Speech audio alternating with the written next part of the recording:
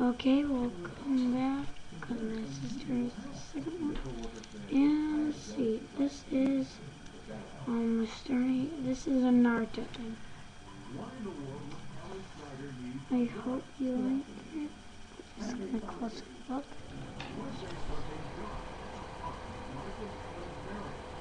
Now, um, I'm not really good at these, but the arms are pretty good when you actually move them.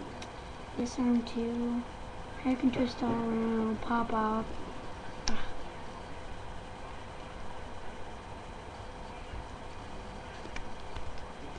And legs can move great. Knee can move. But mine actually, his leg breaks off.